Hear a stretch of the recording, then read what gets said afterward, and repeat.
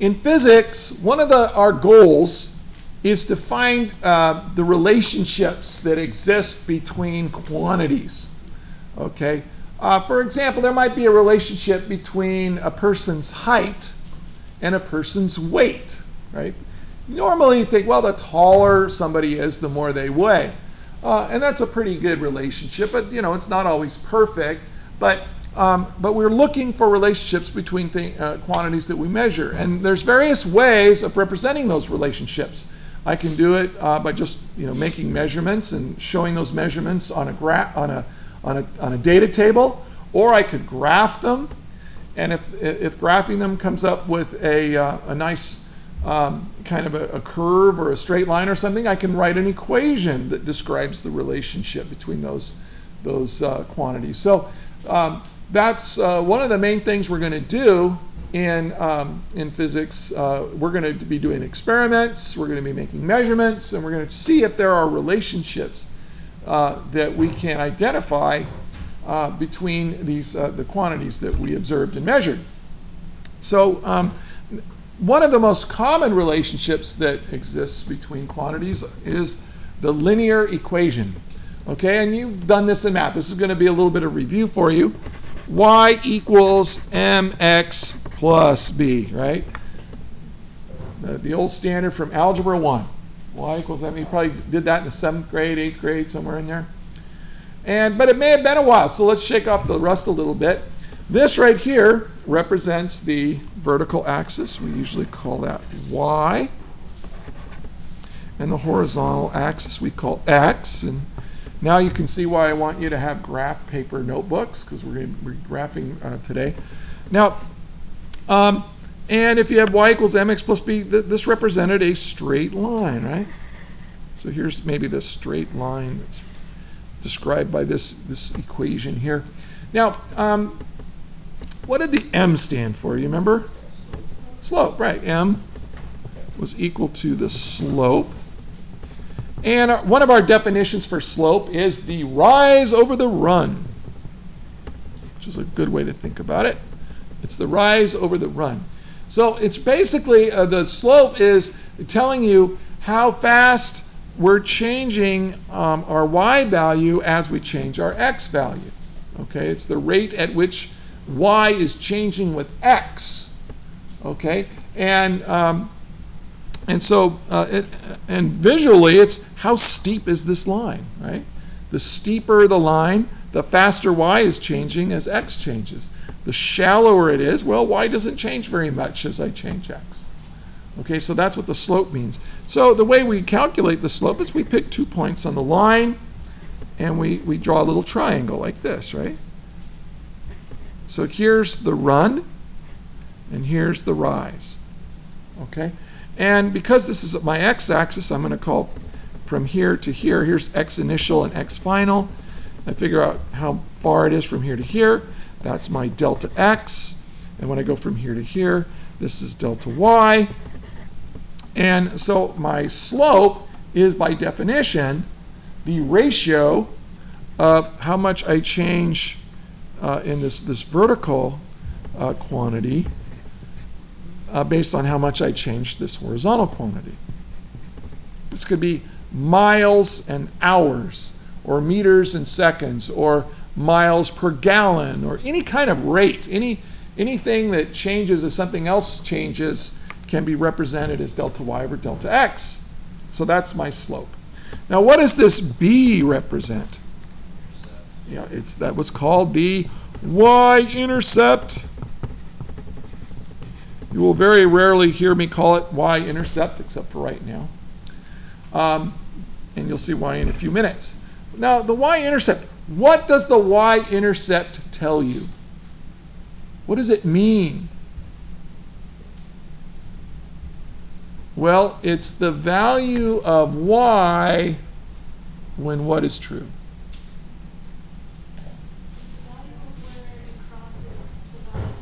Okay, it's where it's where this line crosses the y-axis. But what's true when we cross that y-axis? What else is true? Yes. X is zero. So what the y-intercept is, it's the value for y when x is 0. Does that make sense to everybody? Okay?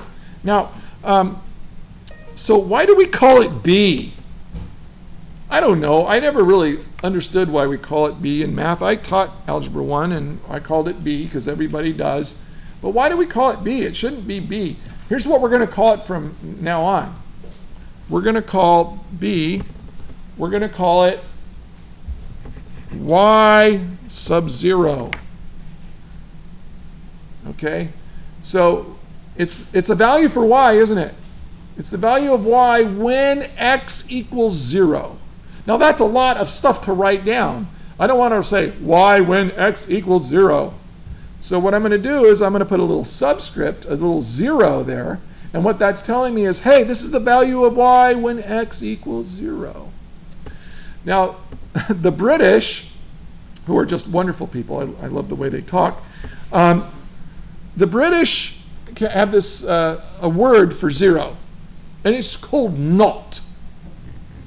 All right, so we don't. I'm not going to call this y sub zero anymore. I'm going to call it y not.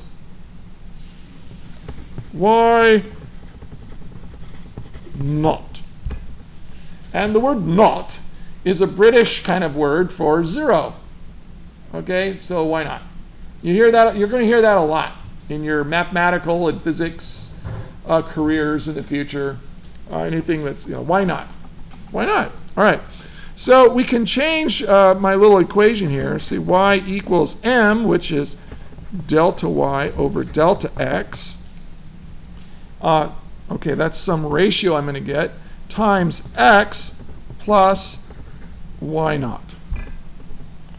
And again, does this make uh, sense? Uh, if you plug in your value of, of 0 for x, if I say, okay, let x be equal to 0, well, this term goes away, and so your y is equal to y naught.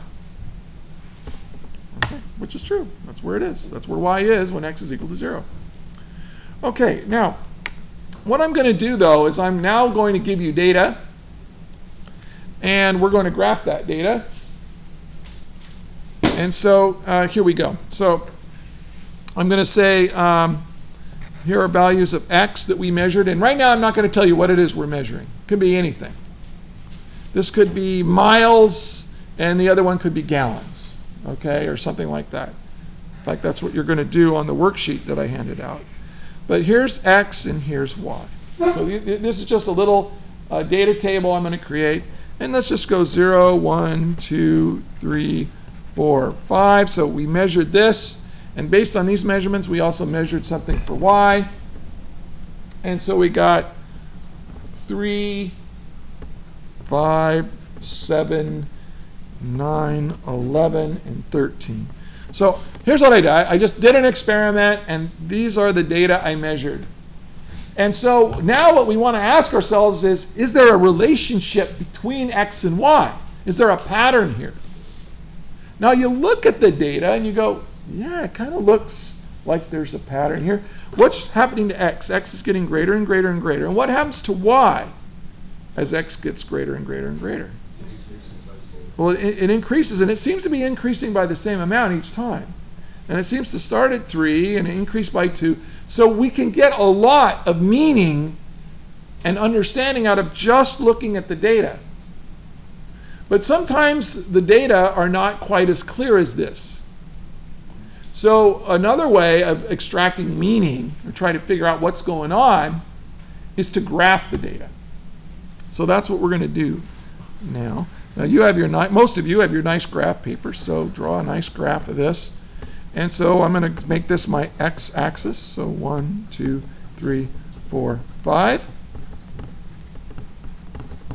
And then now y. We're going to scale y to match the data. We're going to go from 0 to uh, 13 or, or thereabouts. So I'm going to go 1, 2, 3, 4, 5, 6, 7, 8, 9, 10, 11, 12, 13, 14. So this is my y-axis. Now this is just a little hand sketch I'm doing. You've got graph paper, so it'll look better. 2, 4, 6, 8, 10, 12, 14. So label your axis, put your scale on there, with, with even increments and everything like that. Now I'm going to start graphing, and I'm going to say, okay, uh, uh, when x is 0, y is 3. When x is 1, y is 5. When x is 2, y is 7. All right, you've done this before.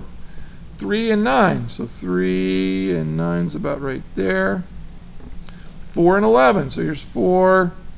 And look, it's a nice straight line, even with my crummy hand sketch. 5 and 11 is right there. And so now we've got a nice straight line. So now when I graph the data and it comes out to be a nice straight line like this, I can definitely say there is a linear relationship between the variables. There definitely is something going on here. So, and when it turns out to be a straight line like this, I call this my graphical model. I now have a graphical interpretation of what happened in my experiment. Okay? And but when it's a straight line like this, I can say, hey, wait a minute, wait a minute. I can write a mathematical equation that will represent these data. That will get that will tell me something about the world.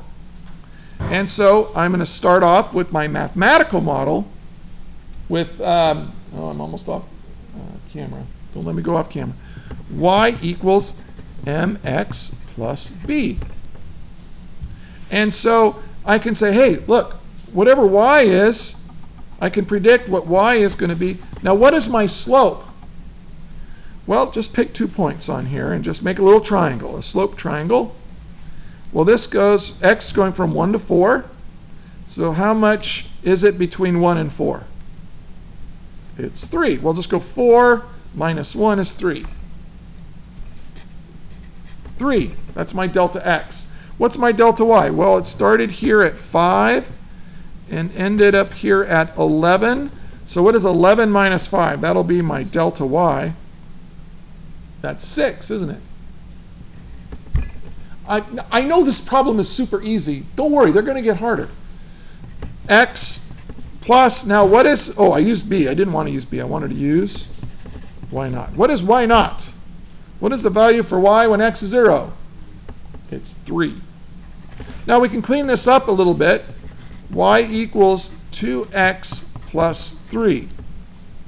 Okay, this is a very good representation of what I observed in my experiment.